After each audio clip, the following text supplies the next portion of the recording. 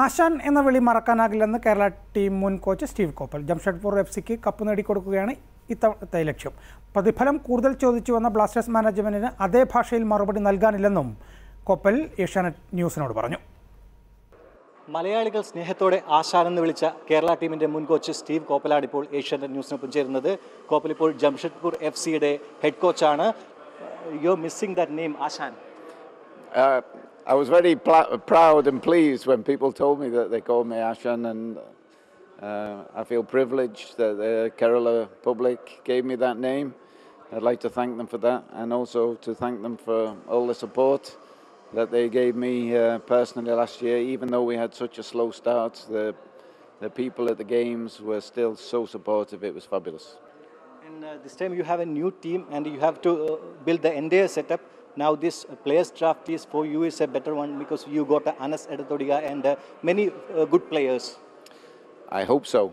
Um, now it's down to everybody at Jamshedpur to create an environment in which the players can express themselves and really show what they're capable of.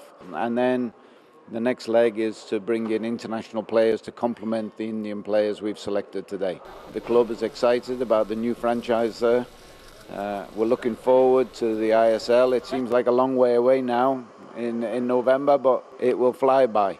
Kerala owners saying that you are not an economically affordable coach. That's why uh, they didn't retain you. What is your take on that? Again, it, it's not for me to, to really go into it too much. You know, the Kerala people should really, if they want to talk about it, talk about it. But I, I thought I had a contract agreed with Kerala.